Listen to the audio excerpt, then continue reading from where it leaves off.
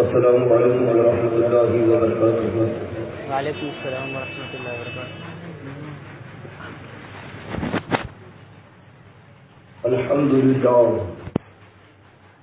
الحمد لله الذي أبدل الأفلاك والأرضين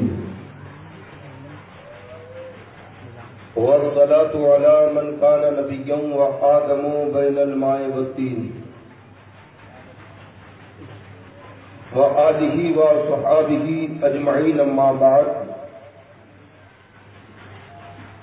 قال الله تعالى في القرآن المجيد فأعوذ بالله من الشيطان الرجيم بسم الله الرحمن الرحيم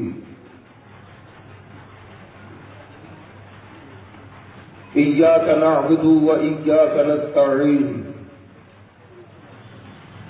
صدق الله مولانا عظيم وبلغنا رسوله النبي الكريم ونحن ولا ذلك لمن الشاهدين والشاكرين والحمد لله رب العالمين. بارگاہ رسالت میں درود پاک کا ہدیہ پیش کریں۔ اللهم صل على سيدنا اللهم صل وسلم بارك على سيدنا مولانا محمد طب القلوب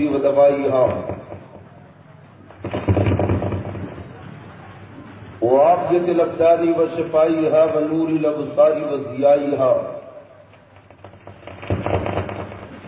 وآله وصحابه دائما أبدا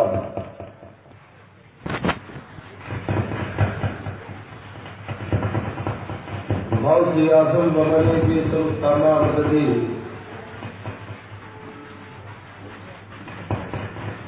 قبلہ جی دی مددی صحابہ دی جی ماں مددی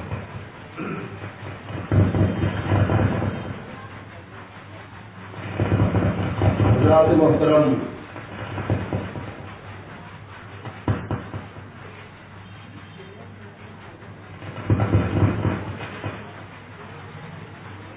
یہ بد اور اس کے آگے بھی مسلسل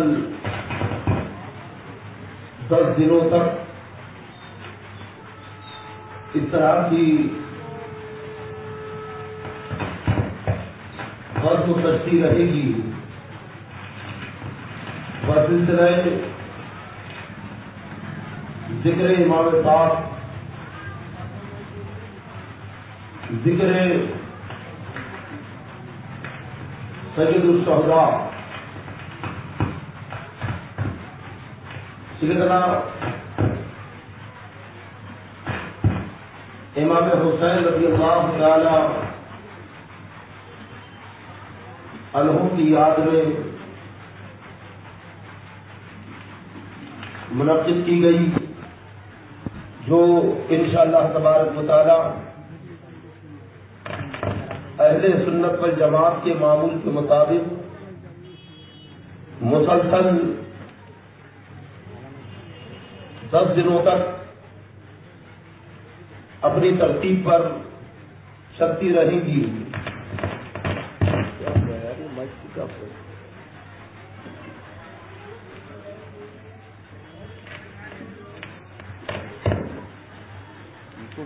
کو تو ہٹا دو اس کو وہاں سے۔ ڈائریکٹ چلاؤ۔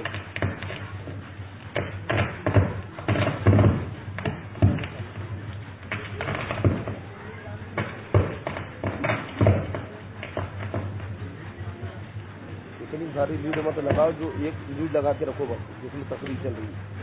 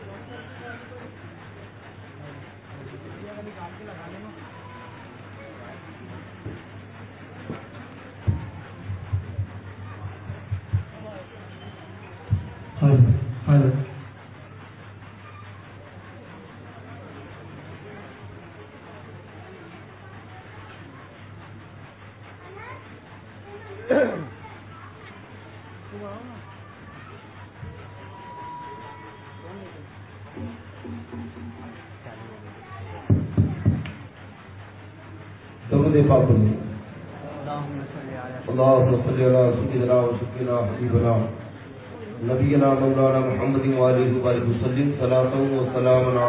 وسلم رسول وسلم سا اس کو بھی بنا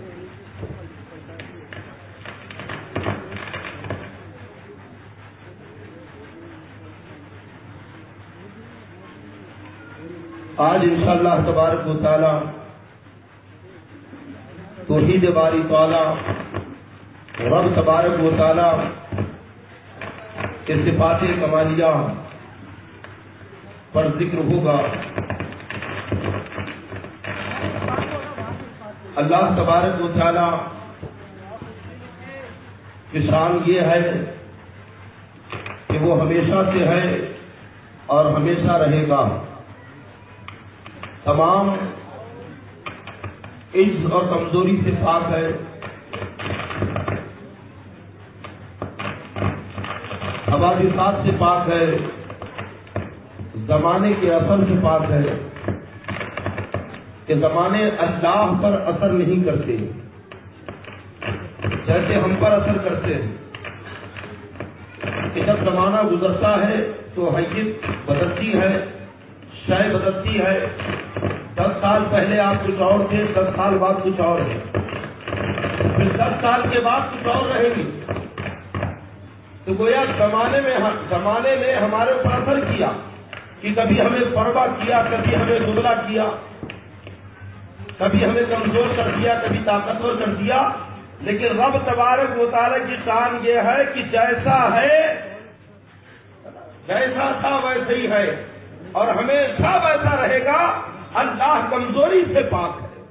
اللہ بڑھاپے سے پاک ہے۔ بے شک۔ اللہ بیماریوں سے پاک ہے۔ اللہ نقائص سے پاک ہے۔ کمزوری اللہ کو گھیر نہیں سکتی۔ اللہ جسم و جسمانیت سے پاک ہے۔ دیکھتا ہے لیکن آنکھوں سے پاک ہے۔ سنتا ہے کانوں سے پاک ہے۔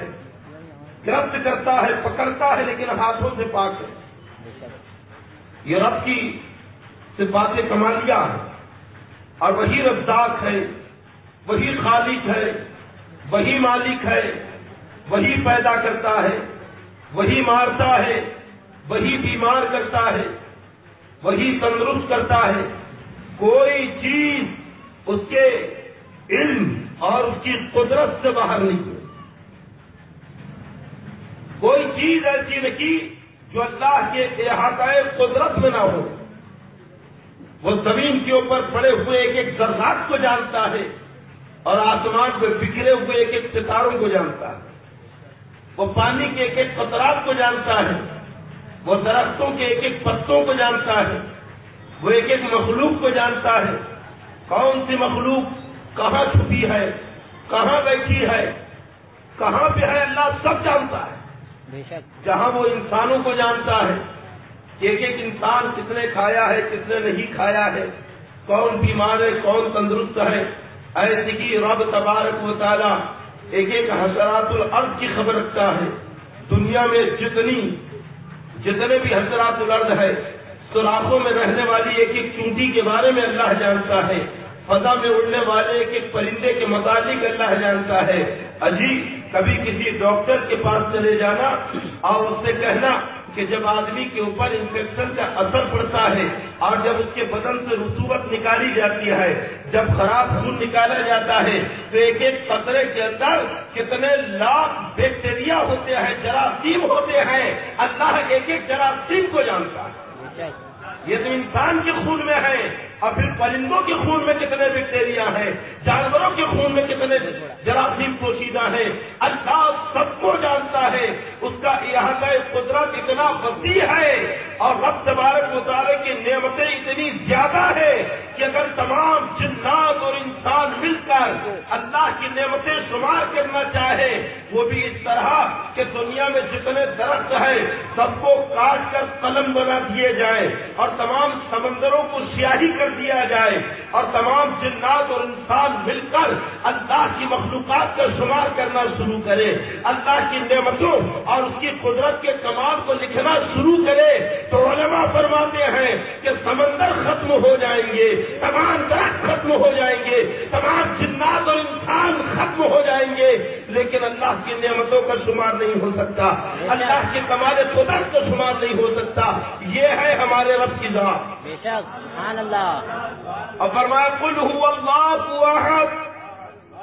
اے نبی، آپ کہہ دیجیے کہ اللہ بولیے، اللہ ایک ہے، اس کا کوئی شریک نہیں ہے. اللہ الصمد. اللہ بے نیاز ہے. سب اس کے نیاز مند. اللہ کھانے پینے سے بے نیاز ہے، سونے سے بے نیاز ہے. دنیا کی ساری ضروریات سے بے نیاز ہے، وہ سب کو کھلاتا ہے، لیکن خود کھانے سے پاک ہے، سب کو پلاتا ہے، پینے سے پاک ہے، وہ تمام مخلوقات کو پیدا کرتا ہے، لیکن خود نہ کسی سے پیدا ہوا ہے اور نہ اس سے کوئی پیدا ہوا ہے۔ ولم یق الہو احد، اور کوئی اللہ کے جوڑے کا نہیں۔ وہ تنہا ہے، اس کا کوئی شریک نہیں۔ اب تمام انسانوں کے اوپر اللہ کا حق یہ ہے کہ اس کی ذات و صفات میں کسی کو شریک نہ ٹھہرائے۔ یعنی جیسا اللہ ہے، اس طرح سے کسی اور کو نہ مانے۔ مثلا، اللہ رزق دیتا ہے۔ اگر خدا کی طرح کسی اور کو رزاق اور رازق مان لیا، تو اسلام سے نکل جائے گا، مسلمان نہیں رہے گا۔ اگر اللہ کی طرح کسی اور کو خالق مان لیا، تو اسلام سے نکل جائے گا۔ کیونکہ رب تنہا خالق ہے وہی روزی دیتا ہے وہی شفا دیتا ہے وہی مدد کرتا ہے۔ ہاں کبھی اللہ کی مدد براہ راست آ جاتی ہے ورنہ اللہ یہ اللہ کی تانے قریبی ہے وسیلے سے مدد کرتا ہے۔ یہ اللہ کی تانے قریبی ہے۔ اور کوئی چیز یہاں تک کہ ہوا کے جھونکے اللہ کے حکم بغیر نہیں چلتے۔ درخت کے کوئی پتے اللہ کے حکم کے بغیر نہیں ہلتے۔ یہ دھڑکنیں اللہ کے حکم سے چل رہی ہیں۔ یہ سانسیں اللہ کے حکم سے چل رہی ہیں۔ یہ رگوں میں خون اگر گردش کر رہا ہے، تو اللہ کے حکم سے کر رہا ہے۔ بغیر اس کے حکم کے نہ رگوں میں خون گردش کر سکتا ہے، نہ دل دھڑک سکتا ہے۔ سورج بھی اللہ کے حکم سے طلوع ہوتا ہے۔ بارش اللہ کے حکم سے ہوتی ہے۔ یہ زمین اور آسمان اللہ کے حکم سے قائم ہے۔ بے شک۔ سورہ رحمان کی تفسیر میں ہے کہ ایک بادشاہ نے ایک مرتبہ سورہ رحمان کی تلاوت کی۔ اور تلاوت کرتے ہوئے جب وہ اس آیت کریمہ میں پہنچا کلّا یومن ہوا کی شان۔ ابھی آئیے اعلی وقت کمات زبان سورہ رحمان کی تلاوت کرنی چاہیے۔ قرآن کی زینت ہے جنت کا ہر دن اللہ کو کام اللہ کو کام ہے۔ کیا مطلب اس کا؟ ہر دن اللہ کو کام ہے۔ اس بادشاہ نے جب یہ تفسیر پڑھی تو سوچو بچار میں مبتلا ہو گیا کہ اللہ کو کون سا کام ہے؟ اللہ کو کیا کام ہے؟ اس نے اپنے وزیر کو بلایا کہ قرآن کہہ رہا ہے کلّا یومن ہوا کی شان۔ ہر دن اللہ کو کام ہے۔ بتاؤ اللہ کے کام کیا ہے؟ اللہ کون سا کام کرتا ہے؟ تو وزیر کوئی عالم اور مفسر تو تھا نہیں کہ تفسیر بیان کر دیتا؟ وہ خود سوچا اس آیت کریمہ کی تفسیر نہیں بتائی کہ ٹھیک ہے، اگر تم نے کل اس آیت کریمہ کی تفسیر نہیں بتائی کہ رب کو کیا کام ہے؟ اللہ خود کہہ رہا ہے، اللہ کو ہر دن کام ہے، وہ کیا کام ہے اللہ کی کہ اگر کل تم نے نہیں بتایا تو میں تمہیں قید کر دوں گا، مرتبہ وزارت سے ہٹا دوں گا۔ اب وزیر گھر آیا کیونکہ بادشاہ کا حکم تھا، بڑا پریشان۔ سہل رہا ہے پریشانی کی عالم میں کروں تو کیا کروں؟ کوئی عالم اور مفسر تو ہے نہیں کہ شاید کریمہ کی تفسیر پڑھ لے۔ بڑا پریشان ہے۔ اس کے غلام نے اس سے کہا کہ آقا، کیا بات ہے؟ پریشان نظر آ رکھے ہو؟ تو وزیر کہتا ہے، کیا بتاؤں؟ بادشاہ نے قرآن کی ایک آیت پڑھی ہے اور مجھ سے کہا کہ کل میں اس کی تفسیر بیان کروں اگر تفسیر نہیں بیان کر سکا، تو کل مجھے قید کر دیا جائے گا۔ مجھے اپنے منصب سے معذور کر دیا جائے گا۔ وزیر نے کہا کہ کون سی آیت اس نے پڑھی ہے؟ اور وہ کس آیت کریمہ کی تفسیر جاننا ہے؟ تو وزیر نے وہ آیت پڑھ دی کلّا یومن ہوا کسان ہر دن اللہ کو کام ہے۔ اب وہ مجھ سے کہہ رہا ہے کہ بتاؤ اللہ کو کیا کام ہے؟ تھوڑی دیر کے لیے تو آپ بھی سوچ رہے ہوں گے کہ اللہ کو کیا کام ہے؟ غلام کہتا ہے کہ میرے آقا، پریشان نہ ہو۔ کل مجھے دربار میں لے کے چلنا۔ اور بادشاہ کے سامنے کھڑا کر کے کہنا کہ آپ کے اس سوال کا جواب میرا غلام دے گا۔ وہی ہوا، دوسرے دن وزیر پہنچا۔ اور بالکل بڑے فخر سے کہ حضور، آپ نے جو سوال پوچھا تھا، اس کا جواب تو میرا غلام دے دے گا بادشاہ کو جواب سے مطلب تھا کہ ٹھیک ہے، غلام کو پیش کیا گیا. بادشاہ کہتا، بتاؤ، کیا جواب ہے؟ تو کہتا ہے کہ آپ سوال تو کریے۔ بادشاہ نے کہا کلّا یومن ہوا پیشان ہر الله سبحانه وتعالى کام ہے طرف وتخرج الحي من الميت غلام کہتا تولج الليل في النهار وتولج النهار في الليل. وتخرج الحی من المیت وتخرج المیت من الحی وہ دن سے رات کو نکالتا ہے رات سے دن کو نکالتا ہے زندہ سے مردے کو نکالتا ہے مردے سے زندوں کو نکالتا ہے وہی تو ہے جو ہوائیں چلاتا ہے وہی ہے جو سمندر میں تموش پیدا کرتا ہے وہی ہے جس نے آسمان کو بلند کر کے رکھا ہے وہی ہے جس نے زمین کو سکون بخشا ہے وہی ہے جس نے پہاڑوں کو زمین میں کیل کی طرح ٹھوک دیا ہے وہی ہے جس نے سمندر میں گہرائی پیدا کیا ہے۔ ارے اسی کے حکم سے پرندے چہچہاتے ہیں ستارے چمکتے ہیں ایک ایک مخلوق اللہ کی سے ساتھ لیتی ہے کہ تمام کام وہی تو کر رہا ہے اسی کی قدرت سے نظام کائنات کر رہا ہے۔ سبحان اللہ بے شک۔ بادشاہ اتنا خوش ہوا جھوم گیا اپنے تخت کے اوپر اتنی بہترین تفصیل سن کر۔ اب کہتا ہے وزیر اب تو میرا وزیر نہیں رہا۔ آج سے یہ میرا وزیر۔ اس کے غلام کو اپنا وزیر بنا لیا۔ کہ یہ میرا وزیر اور تو اس کا غلام۔ کہ چل اپنے ہاتھ سے اپنا تاج اس کے سر پہ رکھ اور اپنی مسلط پہ بٹھا۔ وزیر نے ہاتھ پکڑا غلام کا، اسے خلۂ وزارت پہنایا۔ تاج اس کے سر پہ رکھا۔ اب جو کل تک غلام تھا، آج آقا بن گیا۔ اور جو آقا تھا، وہ غلام ہو گیا، اسی کا غلام۔ اب اس نے جب تخت پہ بٹھایا ہے تو غلام بیٹھنے لگا اور بیٹھتے ہوئے کہتا ہے کہ اللہ یومن ہوا سبحان اللہ یہ بھی میرے رب کا کام ہے کہ اب تک میں غلام تھا تو آقا۔ اب میں آتا ہوں تو غلام۔ یہی تو اللہ کے کام ہے کہ کسی کو غلام بناتا ہے کسی کو آقا بناتا ہے۔ کسی کو امیر کرتا ہے کسی کو غریب کرتا ہے۔ کسی کو بیمار کرتا ہے کسی کو صحت دیتا ہے۔ کسی کو پیدا کرتا ہے کسی کو موت دیتا ہے۔ کوئی کام ایسے نہیں ہے جو اللہ کی قدرت میں شامل نہ ہو۔ اللہ تمام چیزوں پر قادر ہے۔ اور اسی رب کی بارگاہ میں ہم اپنے پیشانی جھکاتے ہیں۔ وہ ایک ہے۔ اس کا کوئی شریک نہیں ہے۔ وہ تنہا ہے۔ کل ہو اللہ احد۔ اللہ ایک ہے۔ آپ کہتے ہیں وہ لا شریک لہو کہتے ہیں وہ وہ ایک ہے۔ لا شریک لہو اے اللہ، تیرا کوئی شریک نہیں ہے۔ تو تنہا ہے۔ نہ صفات میں کوئی تیرا شریک ہے۔ ایک اپنے وقت کے جگید عالم اور بزرگ۔ ایک راہ ہے۔ ایک مرتبہ ایک اپنے وقت کے جید عالم اور بزرگ ایک راستے سے گزر رہے تھے انہوں نے دیکھا کہ ایک خاتون ہے بڑی عورت ہے جو بیٹھ کر چرخا کاٹ رہی ہے۔ چرخا سود کاٹنے کا۔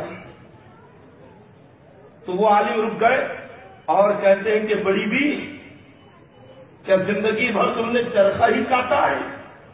کہاں کیا کروں؟ اس کے علاوہ کوئی کام نہیں آتا۔ کیا کہنے کا مطلب یہ ہے کہ کیا زندگی بھر چرخا ہی کاٹا ہے یا کچھ علم بھی سیکھا ہے؟ تو بوڑھی عورت کہتی کہ کچھ تھوڑا بہت پڑا ہے۔ کہ ایک سوال پوچھوں۔ کا پوچھو۔ کا اللہ ہے۔ بتائیے، سوال بھی کیسا؟ کیا اللہ کا وجود ہے؟ اللہ موجود ہے؟ یہ بالکل بنیادی سوال ہے۔ اور سوال ایسا ہے نا، اگر میں آپ کے سامنے کروں تو تھوڑی دیر کے لیے آپ کا بھی سر گھوم جائے۔ میں اگر آپ سے پوچھ لوں اللہ ہے تو آپ کیا کہیں گے؟ ہے اور میں اگر کہوں کہ ثبوت دو، ثبوت پیش کرو، تو تھوڑی دیر کے لیے سوچنے لگ جائیں گے۔ تو بڑھیا کہتی کہ ہاں بے شک اللہ ہے۔ کہا اگر اللہ ہے تیرا یہ عقیدہ ہے اور تمام مسلمانوں کا عقیدہ ہے۔ تو کہا کہ ثابت کر کے اللہ ہے۔ کیا ثبوت ہے؟ تو وہ بڑھی عورت کہتی ہے کہ میرا یہ چرخا میرا یہ چرخا ثبوت ہے۔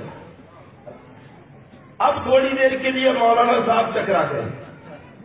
اور وہ اتنے بڑے امام، اتنے بڑے حضرت وہ کہتے ہیں بڑی بھی تعجب کی بات ہے، کہیں مذاق تو نہیں کر رہی۔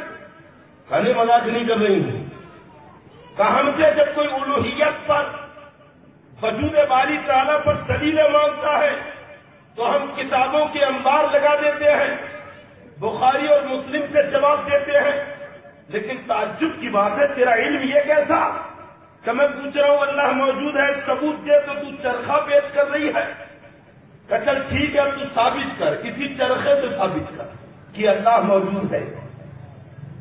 تو وہ بڑھی کہتی کہ یہ دیکھو چرخا گھمایا کہا کہ چرخا چل رہا ہے کہ بالکل چل رہا ہے۔ اب اس نے چھوڑ دیا، تو چرخا بھی رک گیا۔ کہ اب چل رہا ہے کہ نہیں چل رہا۔ کہ پہلے کیوں چل رہا تھا؟ کہ تو چلا رہی تھی۔ تو وہ بڑھیا کہتی کہ مولانا بات سمجھ میں نہیں آئی کہ جب یہ چھوٹا سا چرخا بغیر کسی چلانے والے کے نہیں چل سکتا، تو اتنی بڑی کائنات یہ لہلو لحاظ کی گردش ہے یہ سورج کا نکلنا اور ڈوبنا، یہ آدمی کا پیدا ہونا اور مرنا، یہ پرندوں کا چہچہانا، یہ آدمی کا سانس لینا، یہ انسانوں کا زمین پہ چلنا کیا بغیر کسی کرنے والے کے ہو سکتا ہے؟ ارے وہ اللہ ہے جو پوری کائنات کو چلا رہا بے شک، سبحان اللہ۔ مولانا کہتے ہیں کہ بڑی جی بات تو سمجھ میں آ گئی، لیکن ابھی ایک سوال اور باقی ہے۔ کہ کیا سوال ہے؟ کہ تو نے یہ تو ثابت کر دیا کہ اللہ ہے۔ کہاں؟ تو کہا کہ کتنے ہیں یہ بھی بتا دیں تو بڑھیا کہتی کہ ایک۔ اللہ ہے، ثابت تو کر دیا کہ ایک ہے۔ کہ اب ثبوت دے۔ تو بڑی بھی کہتی کہ یہ چرخا پھر چرخے کو پیش کر دیا۔ تو اب وہ عالم کہتے ہیں کہ اچھا ثابت کر۔ تو بڑھیا کہتی کہ دیکھو، میں چرخا چلا رکھی ہوں۔ کہاں؟ کا سود کت رہا ہے؟ کا بہت سلیقے سے کا اگر ایک اور چلانے والی بیٹھ جائے تو کیا ہوگا؟ میں بھی چلاؤں اور وہ بھی چلائے۔ تو کا پھر تو پورا نظام درہم برہم ہو جائے گا۔ جتنی طاقت اور اسپیڈ سے اسے چلانا ہے، اس سے کئی گنا زیادہ طاقت بڑھ جائے گی۔ ایسا بھی ہو سکتا ہے کہ جو ادھر گھمائے وہ ادھر گھمائے، نہ سوت رہے گا، نہ چرخا رہے گا۔ اگر ایک اور چلانے والی بیٹھ گئی اور تھوڑا سا اگر انبن ہو گئی تو چرخے کا رخصت ہونے لگا۔ تھی کھانا کھلایا، پلایا اور جب باپ اس کا رخصت ہونے لگا، قدیم سائنس جسے کہتے ہیں، رب تبارک مطالعے کی فلاسفہ ہے قدیم سائنس جسے کہتے ہیں، رب تبارک مطالعے کی قدرت الوحیت کے اوپر بہت سوال اٹھائے بلکہ انہوں نے یہاں تک کہہ دیا کہ اپنے اول ہی خالق ہے۔ دنیا میں جو چیز آئی وہ اپنے وجود سے آئی۔ گرہ سے گرہ ٹکرائے تو زمین بن گئی۔ برہمانڈ کے اندر سیلاب آیا۔ برہمانڈ کے اندر ایک بھوچال آیا جس سے مختلف ٹکڑے بکھر گئے اور کوئی سنی بن گیا، کوئی راہو بن گیا، کوئی کیتو بن گیا، کوئی کرک بن گیا۔ کوئی ورکش بن گیا۔ آئی بات سمجھ۔ یہ ان کا عقیدہ ہے۔ لیکن ہمارا عقیدہ کیا ہے کہ اللہ تبارک و تعالیٰ نے اپنے نور سے اپنے نبی کے نور کو پیدا کیا۔ بے شک۔ اور نبی کے نور سے پوری کائنات کو پیدا کیا۔ کوئی چیز بغیر اللہ کی قدرت کے وجود میں نہیں آ سکتی۔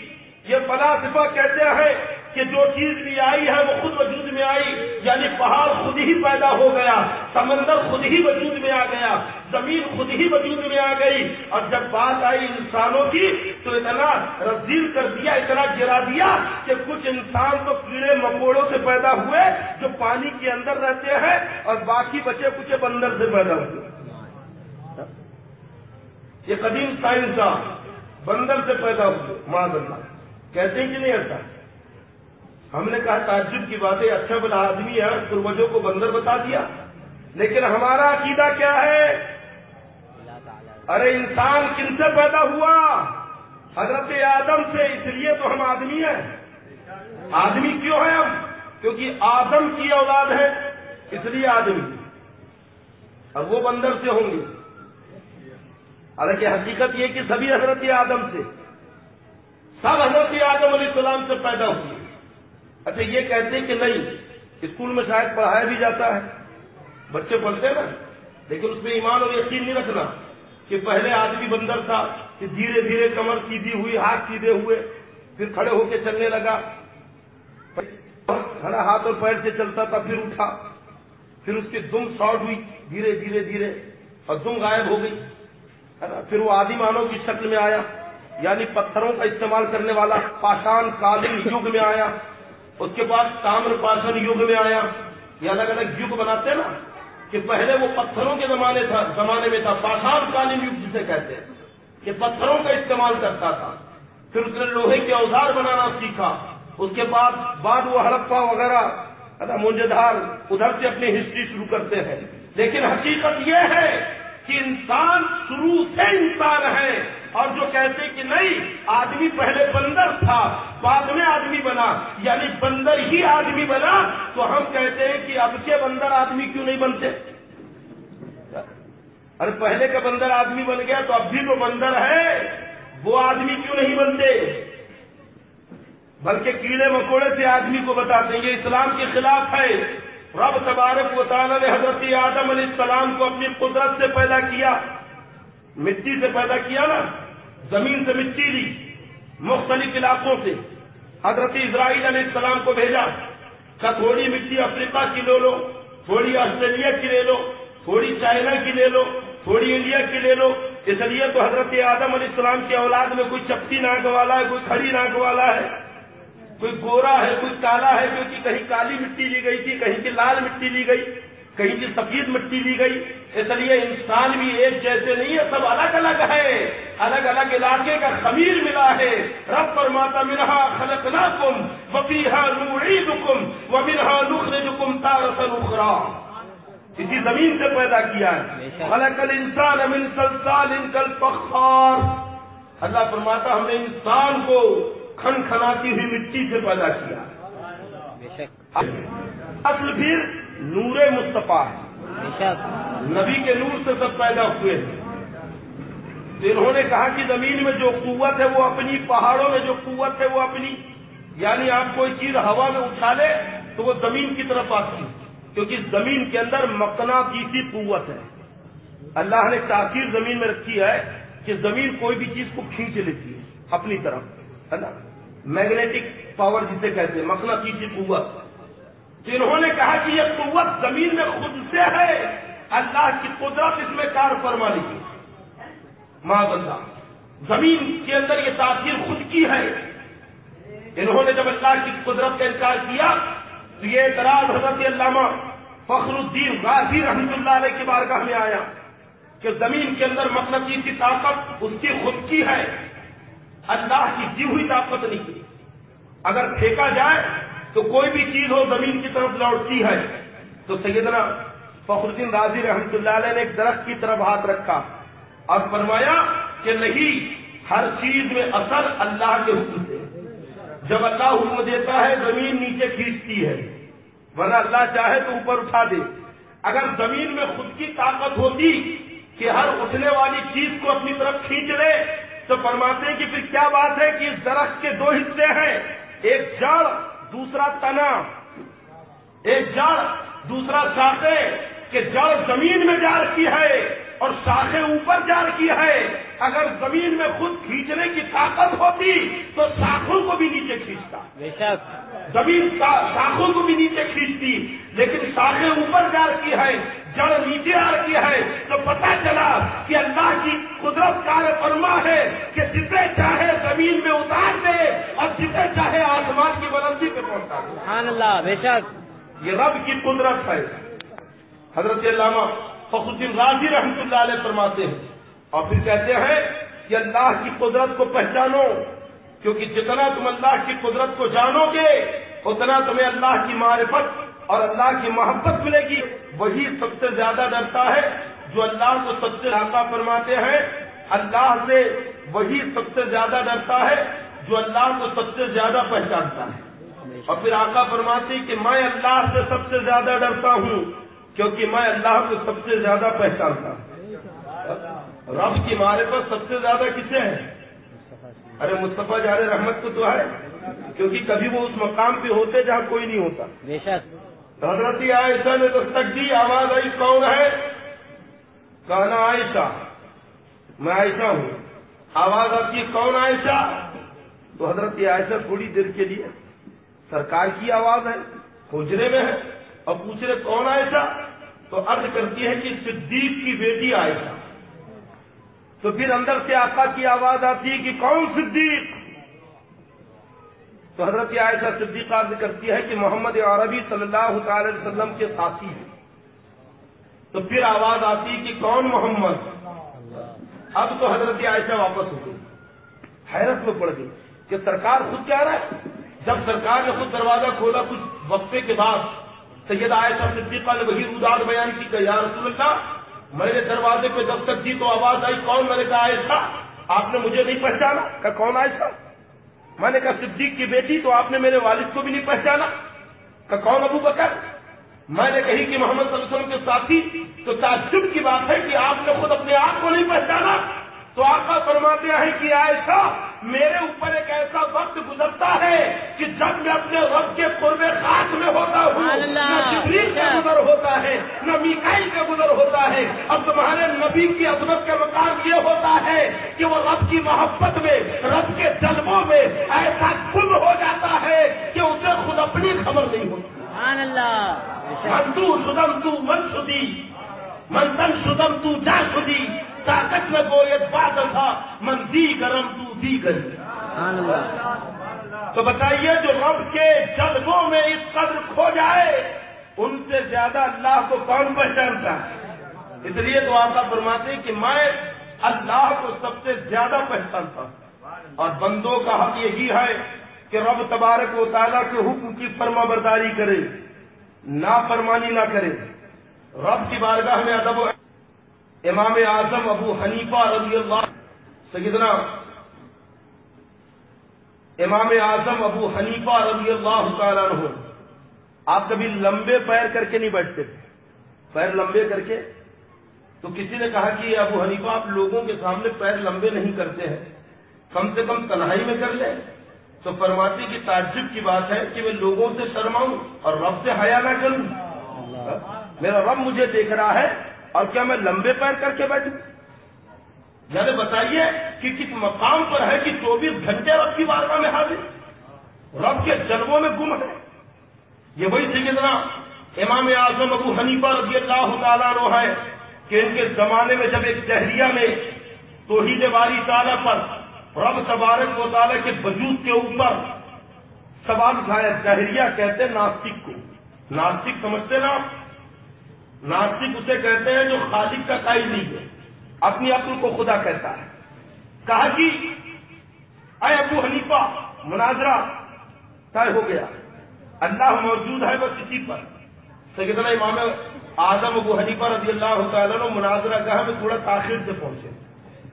وہ بھلا کیا کہتا ابو حنیفہ، آپ جیسا ذمہ دار عالم، اتنی تاخیر سے محفل مناظرہ میں آ رہا ہے۔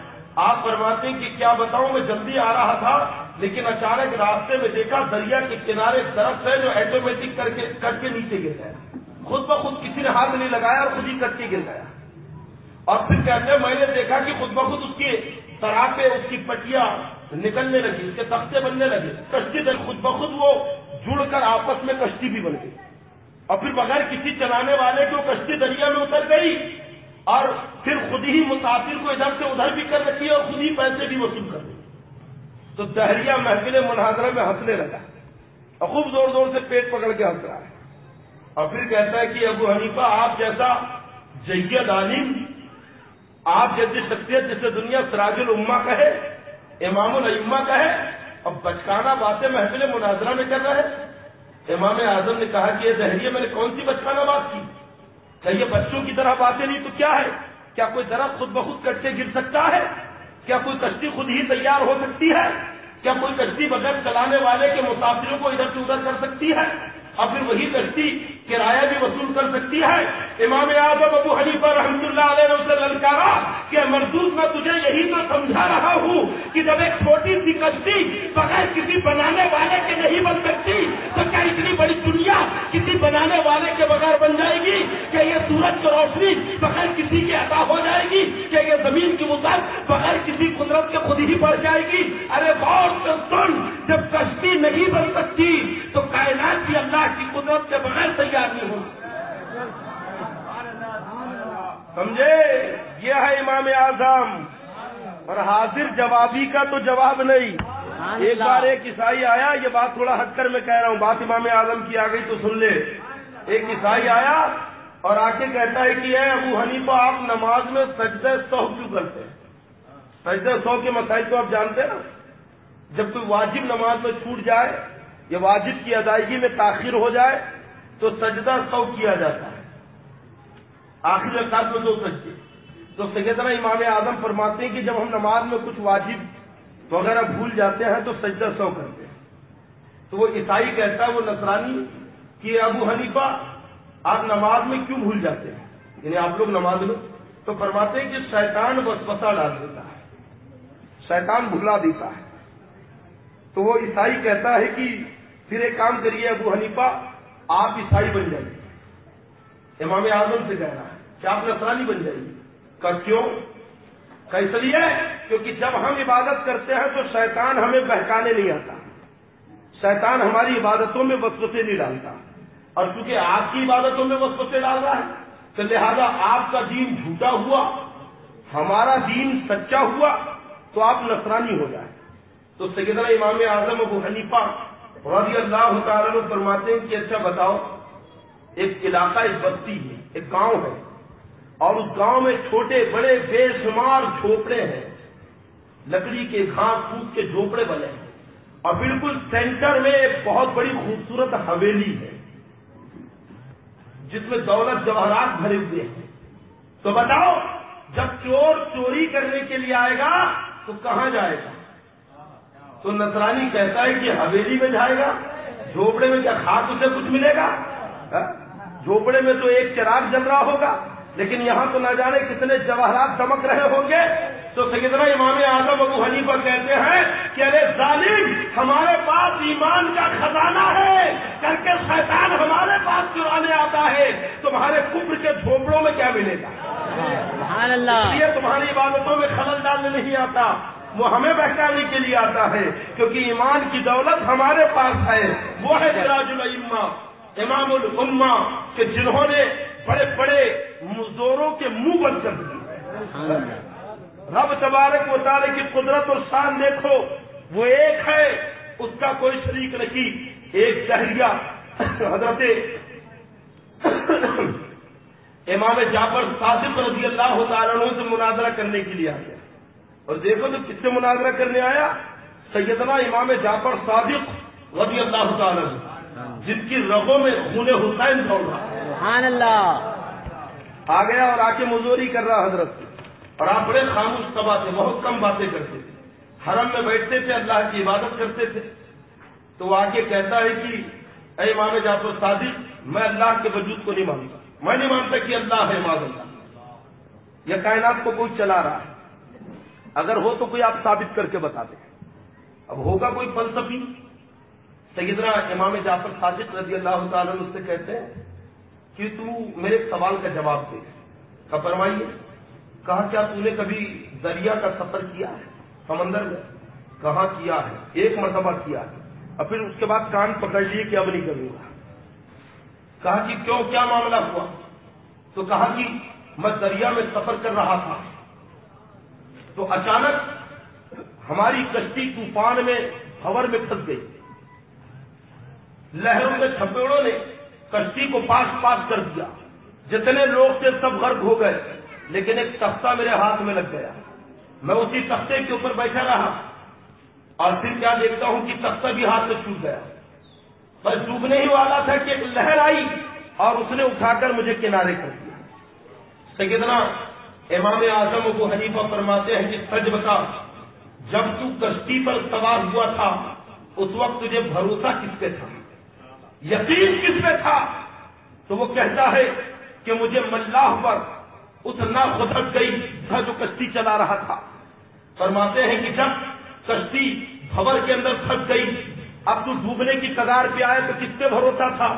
کہ میں نے کشتی پہ یقین کیا کہ ہو نہ ہو، یہ کشتی کسی نہ کسی طرح سے مجھے پار کر دے گی، مجھے دریا کے اس پار پہنچا دے گی۔ آپ فرماتے جب کشتی بھی پاس پاس ہو گئی تو تیرا یقین کس کے اوپر تھا؟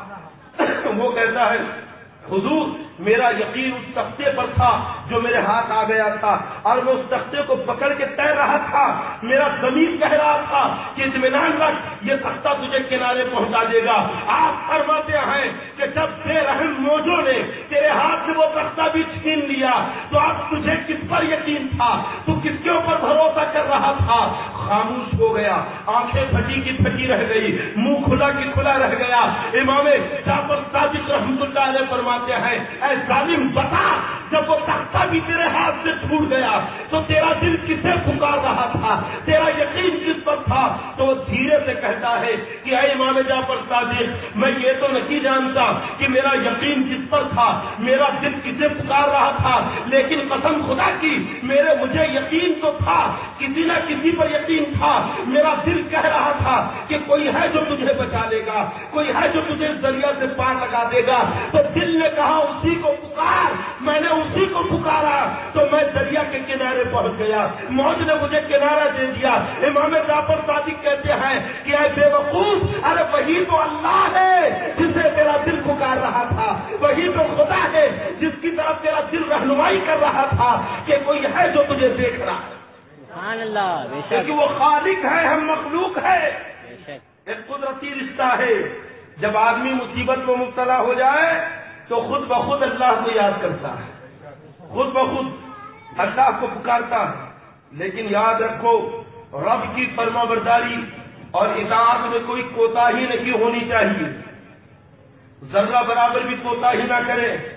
اس کی مثال سب تناب شریف میں حضرت باندھ کے کھڑے۔ آیات کا نام سنا نا آپ نے؟ محمود کے سامنے ہاتھ باندھ کے کھڑے۔ آیات کا نام سنا نا آپ نے؟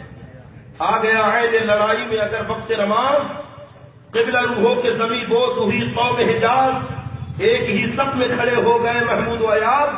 نہ کوئی بندہ رہا، نہ کوئی بندہ نواز یہ وہی ایاز ہے۔ سلطان محمود غزنبی کے سامنے کھڑے ہیں۔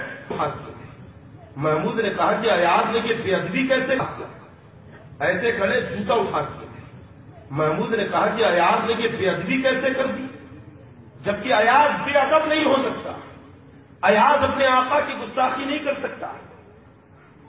کسی بہانے سے ایاز کو وہاں سے ہٹا دیا، کہا جاؤ، خاموشی سے دیکھ کر آؤ کہ دربار سے نکلے تو ایک شخص کو پیچھے بھیجا، کہا کہ جاؤ، خاموشی سے دیکھ کر آؤ کہ ایاز کرتا کیا ہے۔ ایاز جلدی جلدی نکلے اور ایک خالی کمرے میں گئے۔ جلدی سے جوتا نکالا اور جھٹکا۔ اور جب جھٹکا تو کیا دیکھتے ہیں کہ اس میں سے بچھو نکلا۔ ایاز نے جوتا دیا اور بچھو کو مارا کر ظالم! آج تیری وجہ سے میں نے اپنے آقا کے سامنے بے ادبی کر دی۔ تیری وجہ سے اپنے آقا کے سامنے اپنا پیر اٹھا دیا۔ اور پھر ایاز جب وہ کام نپٹا کر واپس دربار میں آئے، بادشاہ کو اس کی خبر ہو گئی۔ تو محمود کہتے کہ ایاز کہو بچھو کا کیا حال ہے؟ تو ایاز رونے لگے۔ کہ حضور، بچھو نے مجھے مسلسل سات مرتبہ ڈنک مارا ہے۔ میں ضبط کرتا رہا، لیکن جب ساتویں مرتبہ جنگ مارا تو میں برداشت نہ کر سکا اور اپنا پیر میں نے اٹھا دیا۔ صرف پیر اٹھایا ہے، ہم رہتے تو اچھل جاتے، وہی ناچنے لگتے۔ صرف پیر اٹھایا۔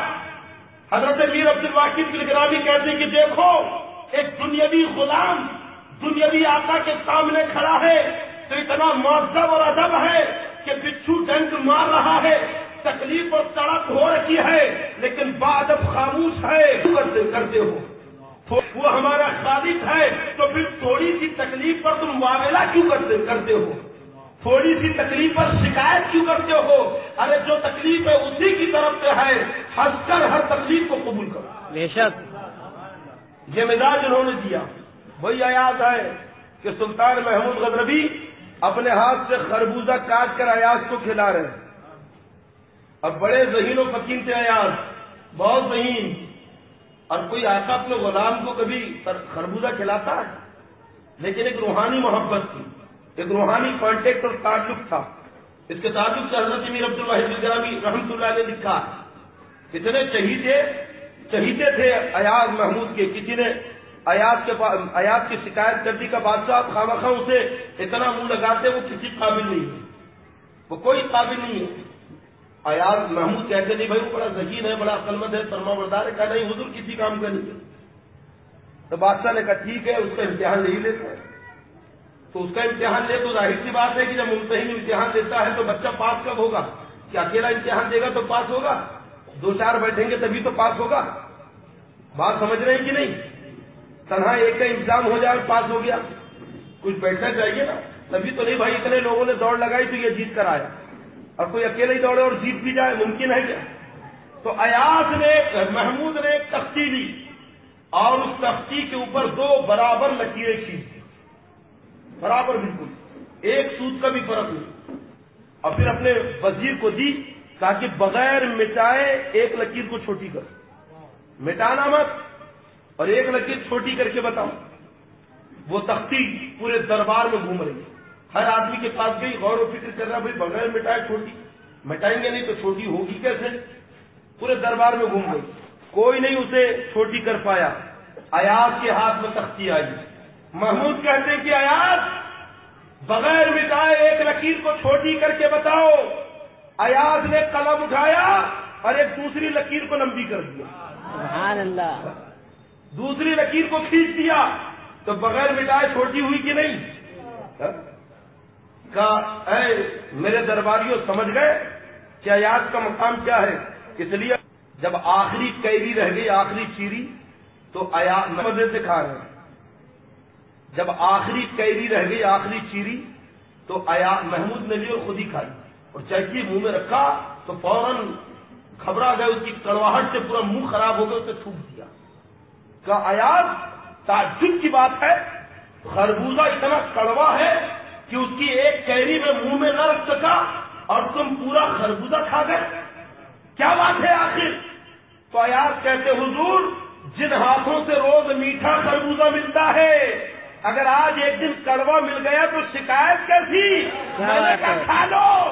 کل سے پھر میٹھا ملنا شروع ہو جائے گا۔ تو بوکیا کہتے ہیں کہ جو اب ہمیں روز بلاؤں سے دور رکھ رہا ہے روزی دے رہا ہے صحت مندی کی دولت دے رہا ہے اگر کوئی تکلیف اور پریشانی دے دے تو شکایت کیسی؟ ارے حق کے قبول کر لو اس میں بھی رب کی رضا۔ بے شک اللہ۔ مصیبتوں کو حد کے قبول کر لو اس میں بھی اللہ کی رضا پنہا ہے۔ بتائیے کس انداز میں ہمارے بزرگوں نے ہمیں سمجھایا ہے؟ لیکن آج ہمارے نوجوان تھوڑی تھوڑی سی شکایت ارے صبح اگر کسی کو کھرا نہ ملے تو شام سے شکایت کرنے لگتا ہے۔ کیا بتاؤں صبح سے جیب کھا لی کیا بتاؤں صبح سے کھرا نہیں کھایا۔ ہم نے کہا لاہور والا قوت یہ بھی کوئی شکایت کی بات ہے؟ کھانا نہیں کھایا تم لوگوں سے شکایت کرو گے لیکن شکایت اللہ کی ہے؟ کیونکہ کھلاتا پلاتا وہی ہے۔ بے شک۔ صبر نہیں ہوتا۔ ایک بزرگ تھے ان کے پاس ایک آدمی گیا اور آ کے کہتا ہوں کہ کیا بتاؤں بڑا غریب ہوں۔ ہے نا، کچھ اگر ہو تو دے دیجیے مدد کے لیے۔ نہیں تو میں جا کر ڈوب جاؤں گا یا کسی رسی سے جھول جاؤں گا۔ اب زندگی بوجھ میرے اوپر بن گئی، کسی کام کی زندگی نہیں ہے۔ ایک درہم جیب میں نہیں ہے۔ نہ کھانے کے لیے کچھ ہے، بڑا پریشان جی۔ بالکل مفلس الحال، ایک دم بالکل غریب، کچھ بھی نہیں ہے میرے پاس۔ تو وہ بزرگ کہتے ہیں کہ فلاں شہر میں ایک آدمی ہے جو اگر تو اپنا ہاتھ اسے دے دے گا، دونوں ہاتھ، تو بدلے میں وہ پانچ لاکھ روپئے دے گا۔ رسول اللہ کے بیس لاکھ کے لیے اپنے ٹانگے تیرے دونوں پیروں کے بدلے بیس لاکھ روپئے دے گا۔ تو کہتا سب اللہ کے بیس لاکھ کے لیے اپنے ٹانگے کٹوا۔ تو کہتے کہ ایک آدمی اور ہے جو دونوں آنکھوں کے بدلے میں پچاس لاکھ روپے دے گا۔ کہا کہ استغفر اللہ کیا میں پچاس لاکھ کے لیے اپنی قیمتی آنکھیں ختم کر دوں۔ کہا کچھ اور بھی بیٹھے ہوئے ہیں، بڑے بڑے تسکر کہ جو تجھے اسی لاکھ، نبے لاکھ دیں گے، تیرے دل کڈنی سب لینے کے لیے بیٹھے۔ تو کہتا استغفر اللہ یہ سودا نہیں کر سکتا۔ بالکل نہیں۔ تو کہتے ہیں کہ یہ کم وقت یہاں پہ کھڑے ہو کے مجھ سے کہہ رہا ہے کہ میں غریب ہوں، فقیر ہوں، کچھ نہیں ہے۔ ارے، کروڑوں کا مال تو ہے تیرے پاس۔ لاکھوں کا مال تو تیرے پاس ہے۔ اور تو کہہ رہا غریب ہوں۔ ارے، جا۔ مال خرچ کرے گا تو مال ملے گا۔ یہ ہاتھ کو کیوں سنگ لگا رہا بھیک مانگ کر۔ یہ پیر کو کیوں خراب کر رہا ہے؟ ایک جگہ پڑے رہ کر۔ جا اپنے ہاتھ پیر کا استعمال کر۔ اپنے آنکھ اور کان کا استعمال کر۔ محنت مزدوری کر۔ اور یہ لاکھوں کا مال لگا۔ تبھی تو پیسہ ملے گا۔ سبحان اللہ۔ بات سمجھ میں آئی کہ نہیں نوجوانوں؟ یا تو پڑھو گے یا تو کماؤ گے۔ زبردستی تمباکو تو نہیں گھوٹو گے۔ خام خواہ انگلیاں گھٹائے جا رہے ہیں۔ کوئی ملنا جلنا نہیں ہے۔ یا تو کماؤ یا پھر پڑھائی کرو علم حاصل کرو کیونکہ تجزیہ اوقات شریعت میں حرام ہے۔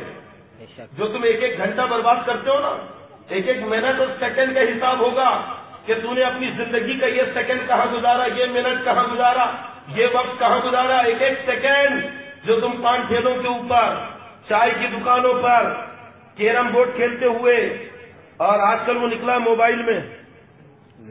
لوڈو۔ تین چار بیٹھ جاتے۔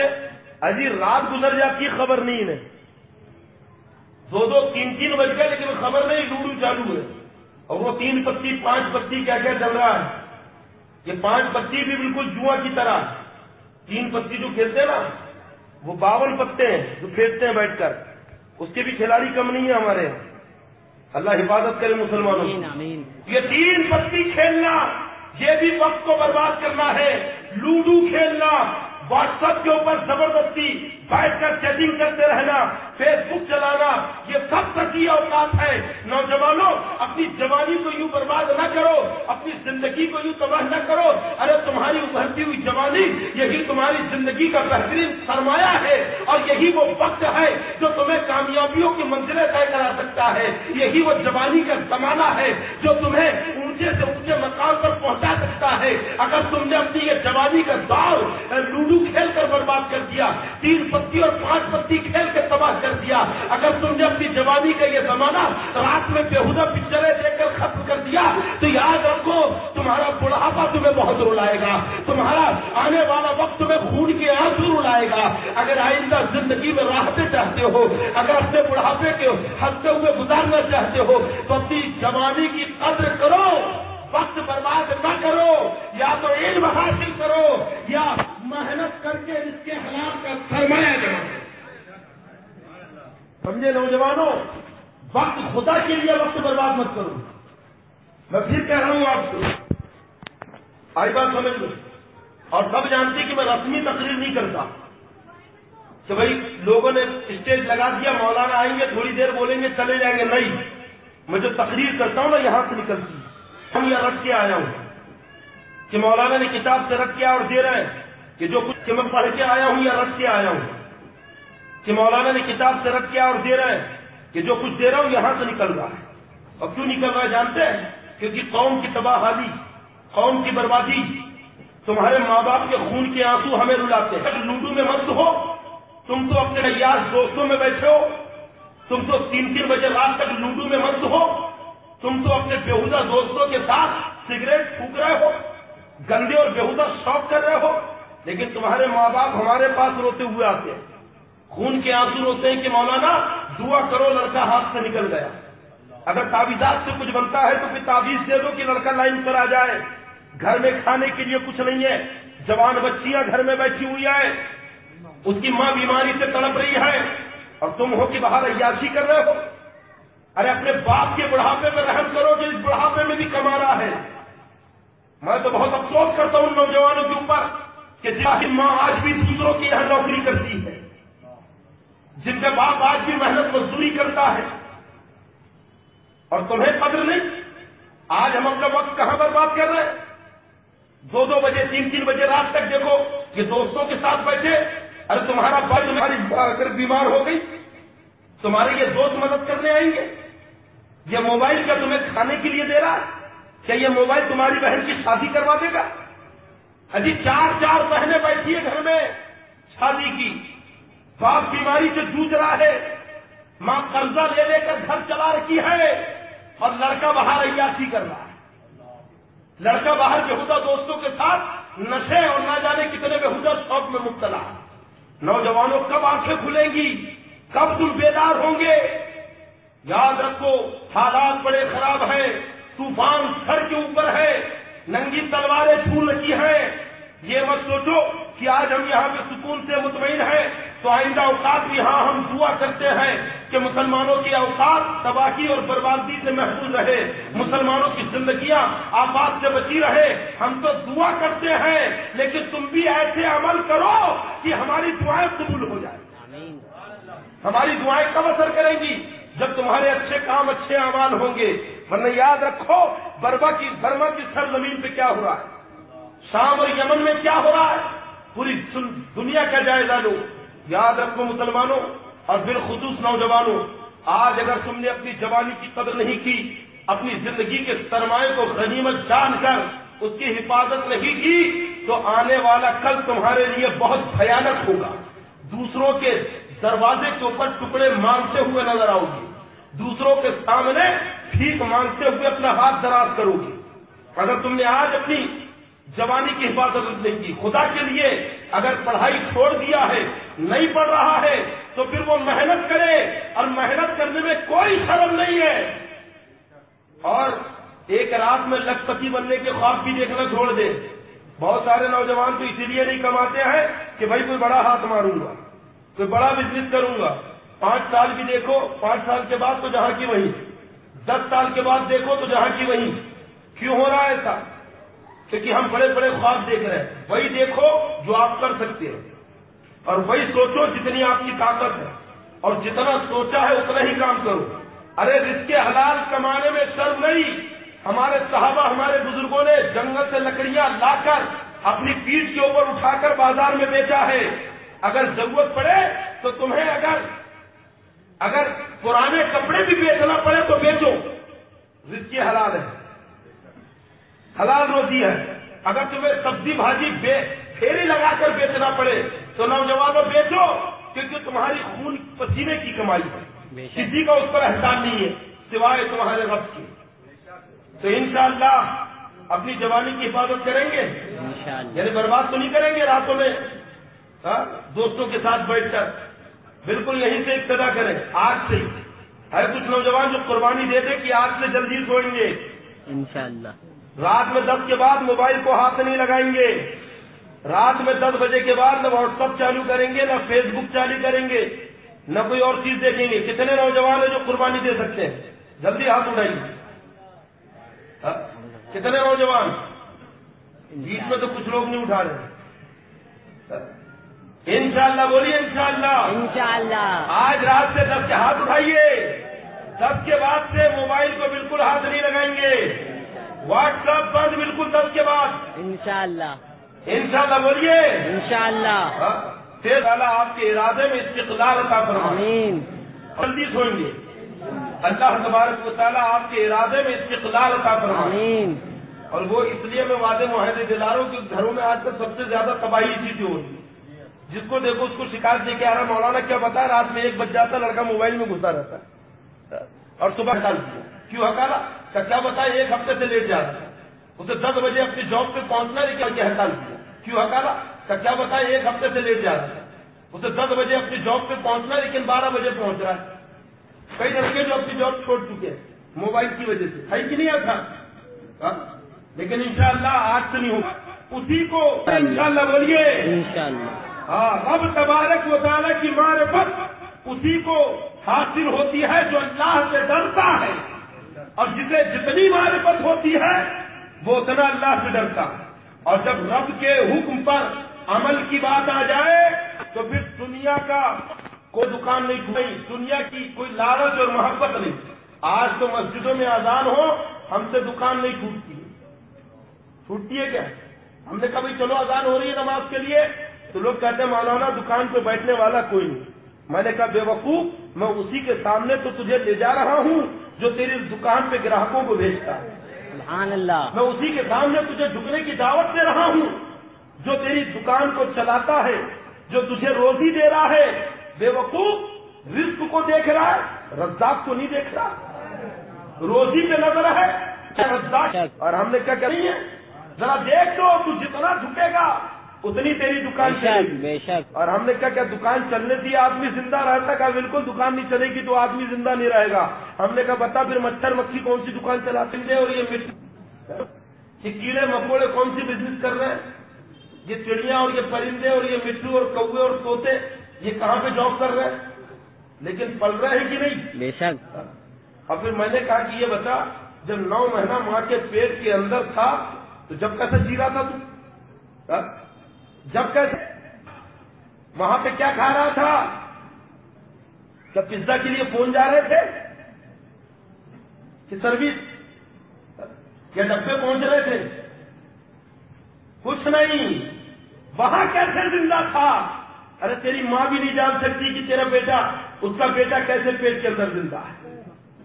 تو مسلمانوں یہی ہمارے لیے سب سے بڑی عزت کا مقام ہے کہ جو ہمیں ماں کے پیٹ میں روزی پہنچا سکتا ہے تو کیا دنیا میں بھوکا رکھے گا۔ ارے بھروسہ اور یقین رکھو رزاق پر روزی دینے والے پر۔ کہ وہ ہمارا خالق ہے وہی روزی دیتا ہے وہی پالتا ہے۔ اسی کے قبضے میں ساری کبریا ساری ملکتیں ملکیتیں اور ساری قدرتیں ہیں۔ بے شک۔ آئی بات سمجھ میں؟ جب رب کی عبادت کی بات آئے تو ہم سے اپنا گلہ نہیں ٹوٹتا، دکان نہیں ٹوٹتی، کاروبار نہیں ٹوٹتا۔ لیکن دیکھو اللہ کا حکم کتنا عظیم ہے۔ مہنگے ہیرے جواہرات اس میں جڑے ہیں، پانچ کا پیالہ اتنا قیمتی کہ بالکل مہنگے ہیرے جواہرات اس میں جڑے ہیں اور پوری دنیا میں اس کا کوئی مثل نہیں تھا۔ پوری دنیا میں وہ اکیلا پیالہ۔ اور بہت بڑے بادشاہ نے گفٹ دیا۔ سلطان نے وہ پیالہ لیا۔ اور چونکہ سلطان خود عارف باللہ تھا اللہ والوں کو ان چیزوں کی پرواہ نہیں ہوتی۔ وہ تو ٹھوکر میں رکھتے جی۔ ان کے یہاں تو کنگر پتھر کی طرح ہیرے جواہرات ہوتے ہیں۔ اللہ والوں کے یہاں کسی چیز کی پرواہ نہیں کرتی محمود غزنبی نے وہ پیالہ لیا اور اپنے وزیر کو دے دیا۔ کہا کہ اسے پٹک کے پھوڑ دیا وزیر نے پیالہ دیا اور بالکل گھبراہٹ اتنا مہنگا تھا کہ ہاتھ کر کے ہاتھ میں رکھا۔ اتنا قیمتی ڈر رہا تھا کہ گر نہ جائے۔ اب بادشاہ نے حکم دے دیا کہ بالکل پٹک کے پھوڑ تو وزیر کہتا حضور نہیں، یہ کسی کا تحفہ ہے اور پھر اتنا مہنگا پیالہ، اتنا قیمتی پوری دنیا میں اس کا مثل نہیں ہے۔ آپ اسے توڑیے مت، اسے محفوظ رکھیے۔ بادشاہ نے لیا اس کے ہاتھ سے، دوسرے کو دیا کتو پھوڑ دیا۔ تو اس نے بھی یہ کہا ہمت نہیں ہو رہی، کہا، حضور نہیں، یہ پیالہ مت چھوڑیے تیسرے کو دیا، چوتھے کو دیا، پانچویں کو دیا، پورا دربار گیا۔ لیکن کسی نے نہیں توڑا۔ سب کہہ رہے حضور نہیں، بڑا قیمتی پیالہ ہے۔ بڑا مہنگا اسے مت توڑ دیا۔ محمود غزنوی نے وہ پیالہ ایاز کو دیا۔ اور کہا ایاز کے توڑ دو۔ ایاز نے لیا اور پٹک کے توڑ دیا۔ پورے دربار میں سو۔ سب کا بخود اور سب سوچ رہے ہیں کہ ایاز نے بے عبدی کر دی۔ ایاز نے توہین کر دی۔ سب برس پڑے کہ حضور یہ نہ ستھرا ہے۔ ہم پہلے سے کہا کرتے تھے کہ ایاز کسی کام کا نہیں ہے، یہ نعمتوں کی قدر نہیں جانتا۔ اتنا مہنگا اور قیمتی پیالہ پٹک کے توڑ دیا۔ لیکن ایاز بادب ہاتھ مان کے خاموش کھڑے۔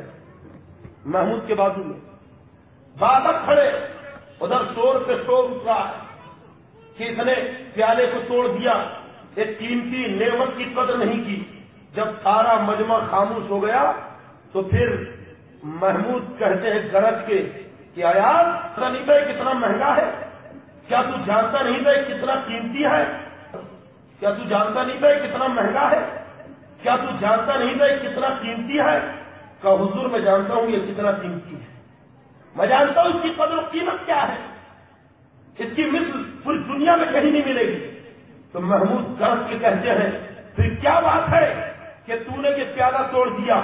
تو وہ کہتا ہے یعنی ایاز کہ حضور اس پیالے سے زیادہ قیمتی میرے نزدیک آپ کا حکم تھا۔ میں پیالہ تو توڑ سکتا ہوں لیکن آپ کا حکم نہیں توڑ سکتا۔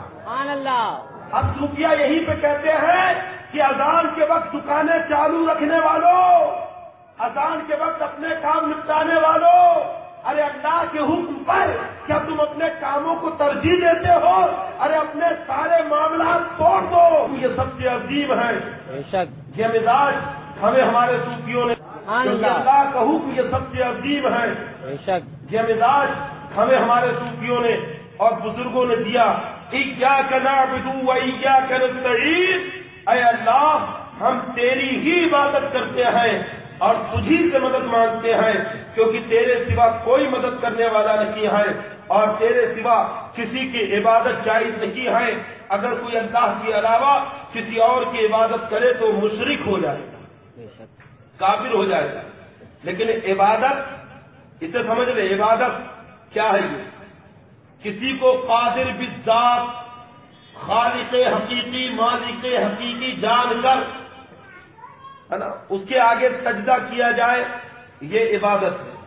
اور یہ صرف اللہ ہی کے لیے، کسی اور کے لیے نہیں ہے۔ اگر اللہ کے علاوہ کسی اور کو قادر بالذات جانا تو مسلمان نہیں ہے۔ مشرک ہو گیا۔ اللہ کے علاوہ کسی کو خالق اور مالک مانا تو وہ مشرک ہو گیا۔ آج بات سمجھ لیں۔ اللہ ایک ہے اور اسی کی ہم عبادت کرتے ہیں۔ کچھ لوگوں نے ہم سے کہا کہ بھائی تم تاج جاتے ہو تو وہ عبادت کرتے ہو۔ ہم نے کہا بالکل غلط، یہ تو کھلا الزام لاہور والا کیونکہ عبادت کے لیے ضروری ہے کہ پہلے کوئی معبود بنایا جائے۔ عبادت کے لیے پہلے ضروری ہے نا کہ کوئی معبود ہو۔ ہم نے کہا بھائی دیکھ، عبادت کے لیے معبود شرط ہے۔ جب معبود ہی نہیں تو عبادت کیسی؟ تو کب وہ جو تاج والے ہیں ہم نے کہا کوئی پاگل، اگر گھوم رہا ہو نا پاگل۔ اس سے بھی پکڑ کے پوچھ لینا کہ تم نے کیا جانتا ہے۔ تو وہ بھی یہی کہے گا کہ بابا تاج ہے، خدا نہیں ہے۔ یہ بابا تاج ہے، معبود نہیں ہے۔ ایک پاگل بھی یہی جواب دے گا۔ ہم تاجباد شریف رب تبارے کو کی نعمت لینے کے لیے جاتے ہیں۔ سمجھے کہ نہیں؟ رب کی نعمت لینے جاتے ہیں، عبادت کے لیے نہیں جاتے۔ ہاں عبادتوں کا طریقہ لینے جاتے ہیں۔ کیونکہ جب گورنمنٹ کی اسکیم آتی ہے نا، تو بالکل سڑکوں پہ نہیں ملتی ہے سینٹر بنے رہتے ہیں۔ جب کنٹرول میں سامان ملتا ہے نا بات ہے سمجھے کہ نہیں؟ تو سینٹر بنے رہتے ہیں کہ اناج یہی ملے گا۔ گورنمنٹ سے آیا ہوا کپڑا غریبوں کو یہی ملے گا۔ اور گورنمنٹ کی طرف سے آیا ہوا ایم اے کے آزاد کا لون یہی ملے گا۔ سمجھے کہ نہیں؟ سینٹر بنے ہوئے۔ تو ایسے کی ہم بزرگوں کی بارگاہ میں جاتے ہیں کیونکہ یہ رب کے خزانے ہیں کیونکہ رب کی رحمت بھیر جاتے ہیں۔ کبھی بغداد جاتے ہیں۔ جاتے ہیں کیونکہ رب کی رحمت اور نعمت کے خزانے وہیں سے ملتے ہیں۔ بے شک۔ اور کبھی گھر پہنچ سیوا بھی ہوتی ہے۔ گھر میں مانگ لیتے کہ مولانا تاج الدین اولیا رحمۃ اللہ علیہ کے وسیلے سے دے دے۔ ہوتا ہے کہ نہیں؟ تو رب کی قدرت سے اس کے کرم سے وہ ہمیں ملتا بھی ہے۔ کہ نہیں، آپ وہاں جو جاتے رہتے ہاتھ مار کے کھڑے رہتے کا یہی تو عبادت ہے۔ کہ ہم نے کہا، کیسی عبادت ہے؟ کب وہ ہاتھ مان کے کھڑے؟ ارے، ہم نے کہا، کھڑے ہو گئے ہاتھ مان کے۔ عبادت کیسے؟ کہ ایسا نماز میں کھڑے رہتے ہیں۔ کبھی کبھی یہ بھی جاتے ہیں۔ تو تم کیسا کھڑے رہتے؟ کائے سے سیدھے۔ کبھی کبھی یہ بھی جاتے ہیں۔ اور انکار تو کر ہی نہیں سکتے، ثبوت پیش کر دوں گا۔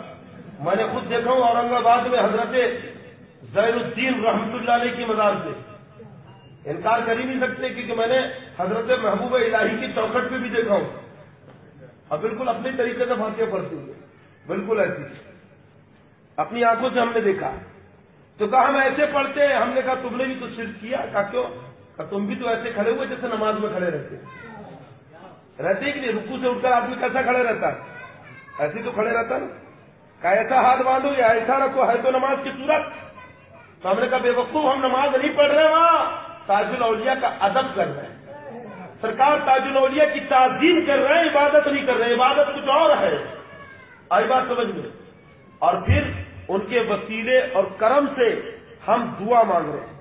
اس لیے کیونکہ یقیناً اللہ عطا کرتا ہے لیکن اللہ کی عادت کریمہ ہے کہ وہ ذریعے سے دیتا ہے۔ ذریعے سے دیتا نا؟ ارے ذریعے بنے کہ نہیں؟ اللہ نے ذریعے بنا کے رکھ دیے ہیں۔ اگر کوئی ذریعوں کا انکار کرے تو پھر تو اس کے لیے دنیا میں جینا مشکل ہو جائے گا۔ ہوگا کہ نہیں ہوگا؟ کبھی ہم سرکار تاجر اولیا کا ذریعہ لیتے ہیں وسیلہ لیتے ہیں کبھی بغدادی شاہ کا وسیلہ لیتے ہیں کبھی اجمیر مقدسہ میں جا کر خواجہ غریب نواز کا وسیلہ لیتے ہیں۔ لیتے نا کوئی وسیلے سے صحت مانگ رہا ہے کوئی وسیلے سے اولاد مانگ رہا ہے کوئی وسیلے سے کاروبار مانگ رہا ہے۔ کوئی وسیلے سے بیماریوں سے نجات مانگ رہا ہے؟ مانگتے نا تو کہ یہ سب شرک ہے۔ کہ یہ تو شرک ہے۔ ہم نے کہا نہیں بالکل غلط۔ کہ کیسے؟ کہ ہم نے سب سے پہلے یہ سمجھائیے کہ بیمار کون کرتا ہے۔ کون کرتا ہے؟ اللہ۔ بیمار بھی اللہ کرتا ہے۔ اور پھر اچھا کون کرتا ہے؟ اللہ۔ بیمار بھی اللہ کرتا ہے۔ اور پھر اچھا کون کرتا ہے؟ اچھا قرض میں مبتلا کس نے کیا؟ اللہ۔ اللہ نے۔ اور پھر قرض سے نجات کس نے دی؟ کس نے دی؟ اولاد کس نے عطا کی؟ کاروبار کس نے چمکایا؟ ساری چیز اللہ کرتا ہے۔ ہم نے کہا کہ یہ کم عقل کہ اللہ کی مدد کرنے والا ہے۔ رب تبارک و تعالیٰ ہی قرضے کی ادائیگی میں مدد کرتا ہے۔ پھر کیا بات ہے کہ کبھی ہم نے تمہیں جواریوں کے دروازے پہ قرضے مانگتے ہوئے دیکھا، کبھی کوئی جا کے کٹوری کے دروازے پہ قرضہ مانگ رہا ہے، کبھی کوئی شرابی کے دروازے پہ کھڑا ہے، تب کچھ نہ کچھ مدد ہو ہی جائے گی، قرضہ اتر ہی جائے گا۔ اور پھر ہم نے دیکھا کہ اگر کسی کا باپ بیمار ہو گیا تو وہ چلا گیا ہارٹ کے ڈاکٹر کے پاس۔ ہم نے کہا، یہ مشرق ڈاکٹر جو مسلمان بھی نہیں ہے، اسلام سے اس کا تعلق نہیں ہے، اس کے پاس علاج کرا رہا ہے۔ اور پھر میڈیسن کی دکان پہ کھڑے ہو کے دوائی خرید رہا ہے۔ تو ہم نے کہا، تعجب کی بات ہے بیمار تو اللہ کرتا ہے اور پھر اچھا بھی اللہ کرتا ہے، تو تم ڈاکٹر کے پاس کیسے چلے آئے؟ تم دوائیں خریدنے کیسے چلے آئے؟ ہے تم اللہ سے کیوں نہیں مانگتے؟ آپ کیسے پھیلا دیا؟ جبکہ سارے معاملے اللہ کرتا ہے، تم اللہ سے کیوں نہیں مانگتے؟ کیوں نہیں کہتے کہ مولا ہمارے باپ کو اچھا کر دے، میرے بیٹے کو اولاد سے نواز دے، یا پھر میں محتاج ہوں، مجھے غنی کر دے، اس کے اس کے پاس جا کے کیوں مانگتے تو کہتا مولانا دیتا تو اللہ ہی ہے، لیکن ذریعہ بناتا ہے۔ ہم نے کہا، ذریعہ؟ کہاں؟ اللہ ہی نے دیا وہ اچھا بھی اللہ نے کیا، لیکن ذریعہ بنایا۔ ہم نے کہا، یہ شرابی کو ذریعہ بنایا۔ کہاں؟ اللہ کسی کو بھی ذریعہ بنا سکتا ہے۔ میں نے کہا، یہ جواری کو تیری مدد کے لیے ذریعہ بنایا۔ کہاں؟ اللہ کسی کو بھی ذریعہ بنا سکتا ہے۔ ہم نے کہا کہ یہ مشرق ڈاکٹر جس کا ایمان سے کوئی رشتہ نہیں اتنی بڑی بیماری کے صحت کے لیے کیا اللہ اس مشرق کو ذریعہ بنا سکتا ہے؟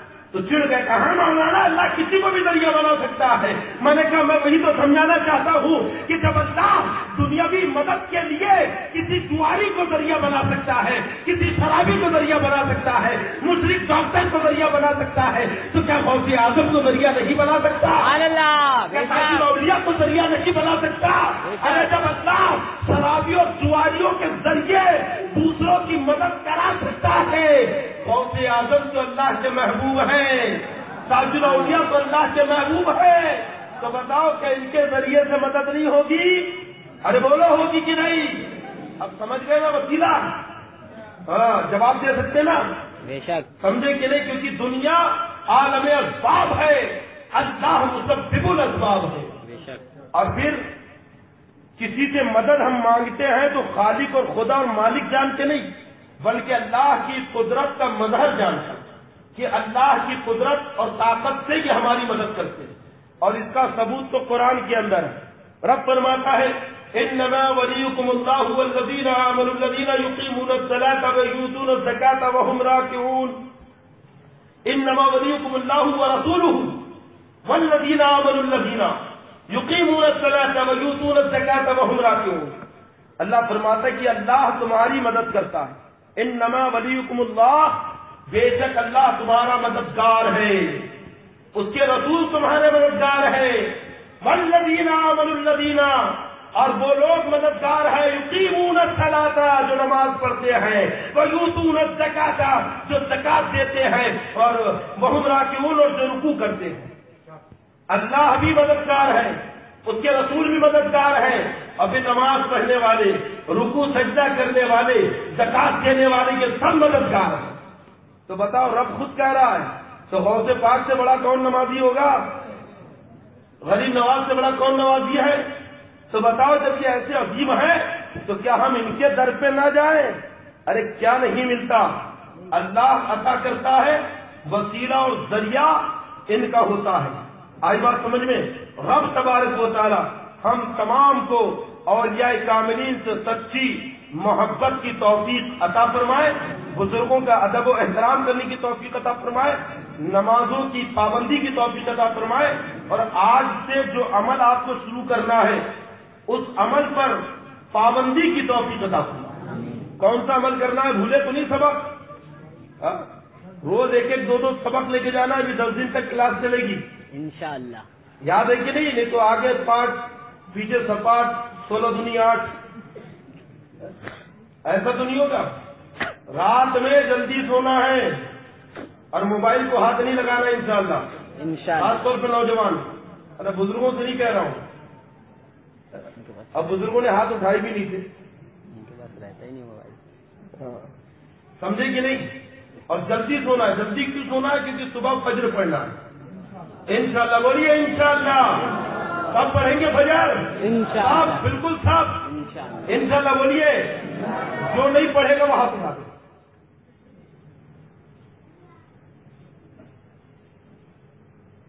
یعنی سب پڑھیں گے انشاءاللہ۔ انشاءاللہ۔ اللہ بولیے۔ اللہ تبارک و تعالی ہمیں اپنے ارادے پر استقلال عطا فرمائے۔ روز آئیے انشاءاللہ۔ بالکل دو تاریخ تک الگ الگ عنوان کے اوپر بیان ہوگا۔ انشاءاللہ آپ کے علم میں اضافہ ہوگا۔ اور آپ کا باطن بھی انشاءاللہ سبرے گا اور آخرت بھی انشاءاللہ بنے گی۔ دوست احباب کو لے کر آئے السلام علیکم